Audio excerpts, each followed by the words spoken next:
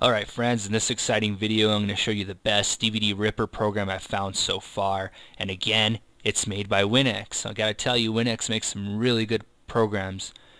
So, this is the website where you can get it from. You can download a free trial by clicking on the download button here. I'm going to post the link of this website on the video description below. And this is what the program looks like. What's really cool about this program is um, we're going to go ahead and uh, open up the Battlestar Galactica DVD I have in there. Just click on the disc icon on the top left hand corner to open up your disc.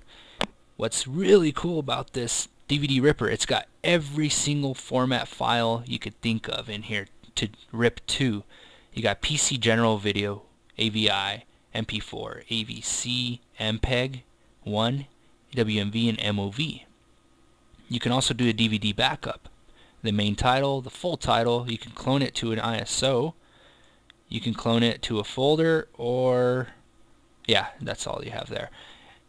You can also rip it to a Apple format. iPhone, iPad video, iPod, Apple, the list goes on. It's a lot. So you can do uh, you can do Apple formats, you can do Android formats, HTC, Samsung, Amazon Video, Google, Huawei, Lenovo Pad, Acer. You can also do Microsoft Device, WP8 Pad, the Xbox Video, Zune, Surface Video. And you can also do Sony, PSP Video, PS3, PSP Vita, Xperia. It's got everything in here. So that's what's really cool about this program. You can do it to any type of format you want.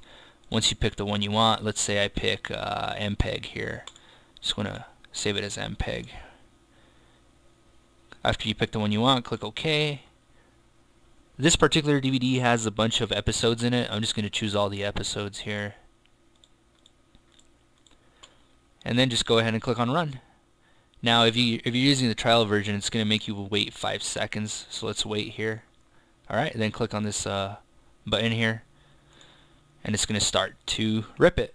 Now, this is going to take a long time. Now, you can choose to shut down two, maybe more, and you can also select if you want to open the folder once it's done.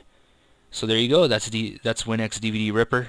It's got a lot of formats you can rip to. Really, really cool. It's doing Title 1 right now, just the first episode. It's going to take a while. So hopefully you guys like this program as much as I do, and uh, it's really useful for you. Thanks for watching this video review, and have a good rest of your day.